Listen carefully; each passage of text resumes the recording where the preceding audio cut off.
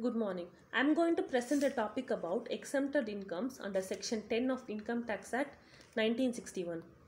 Exempted income means income which do not take part while calculating the tax for an individual. The main objective of Section 10 is to reduce the tax burden of salaried individual by ways of providing exemptions. The exemptions can be claimed by the following types of assessees like individuals, salaried as well as non-salaried, Hindu undivided families, trust, associations, body of person, companies, etc. But different subsection of section 10 allows different types of exemptions for different types of assessees. First exempted income is agriculture income under section 10 subsection 1. Agriculture income is fully exempted from tax. Income like rent earned through land used for agriculture purposes, farmhouse and income earned from processing of agriculture produce and agriculture activities. These kind of incomes are exempted. Next exempted income is profit received by partner from a firm under section 10 subsection 2a. If a partner in a partnership firm receives a share of profit, it will be exempted from tax. Only the profit he received will be exempted. Next exemption is on leave travel allowance under section 10 subsection 5. An employee can claim this exemption for leave travel allowance, but there are certain rules for claiming it. The exemption can be claimed either when the employee takes a leave from work and travels or if the employee has retired or left the job before traveling. If the, tra- the travel should be taken within India. If the journey is done by air, the maximum exemption would be economic class return airfare for the shortest possible route taken from the place of origin to the place of destination. If the journey is done by any other mode, when there is a train connectivity, the maximum exemption would be limited to return fare of first class AC train ticket for the shortest possible route. The next exemption is on commuted pension under section 10 subsection A 10A. Commuted pension means lump sum payment is received by an individual instead of periodic pension. This commutation of pension is tax exempted income. If he is a government employee or a local authority, the exemption is allowed on the total commuted value of pension. If he is a non government employee and has not received any gratuity, then the half of the pension can be commuted tax free. Next exemption is on leave encashment received under section 10 subsection 10AA. Leave encashment means amount received in the received in exchange for a period of leave not availed by an employee. If a retiring employee receives a leave encashment, the limit of exemption would be if he is a government employee, the full amount of leave encashment would be tax free.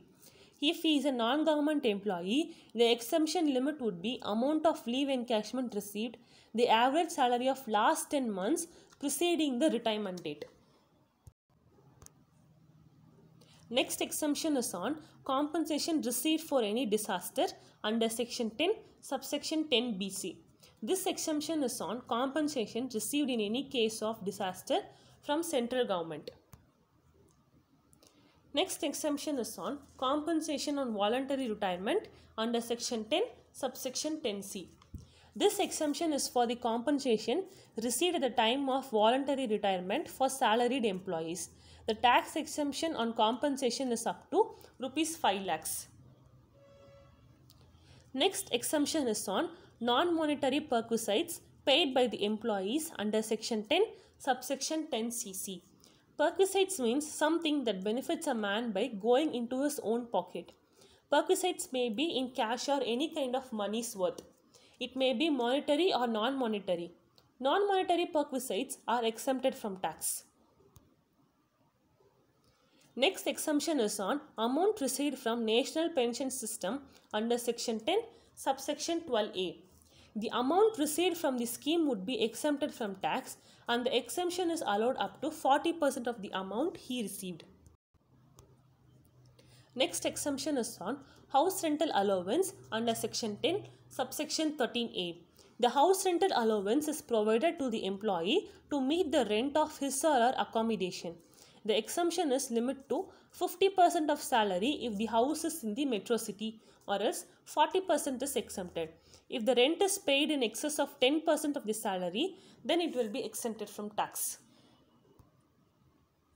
Next exemption is on specified benefits and allowance paid to the employee under section 10 subsection 14.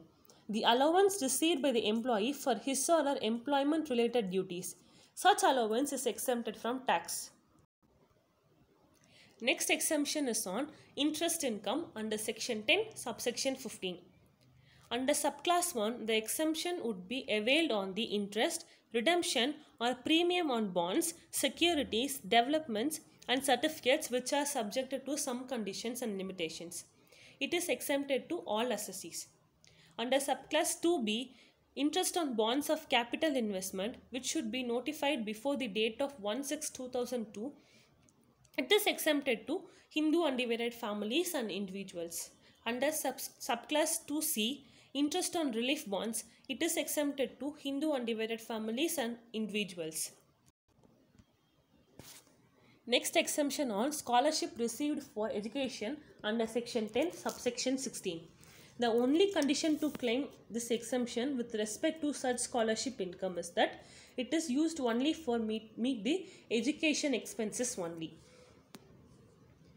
Next exemption on daily allowance paid to the member of parliament and member of legislative assembly. It is based on daily allowance paid to the member of parliament and member of legislative assembly. This allowance are exempted from tax. Next, next exemption on pension received by individuals in armed forces under section 10 subsection 19 pension paid to the individuals if he or she died in the course of operational duty. That income is exempted from tax. Next exemption is on income of local authority under section 10 subsection 20.